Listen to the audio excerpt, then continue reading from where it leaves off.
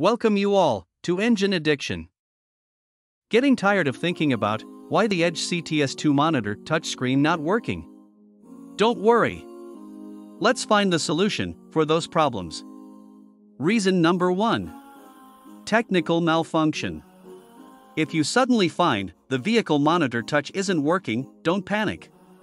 Technical malfunctions are very common in many electronic devices and are not that serious. To solve this problem, rebooting the monitor. Reason number 2 Disconnected ribbon cable. Ribbon cables are glued together in most of the touchscreen monitors, and when the glue melts, the cable is separated. As a result, the touchscreen doesn't work. For this, the cable needs to be connected.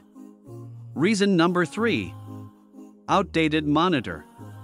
If you find the monitor touch not working, it could be due to not updating the version. To solve this issue, needs to be updated. Reason number 4 Software errors.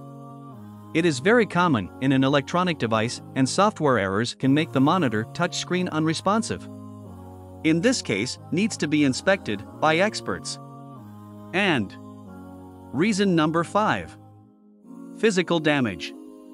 When the vehicle goes over hard bumps, the monitor can get affected.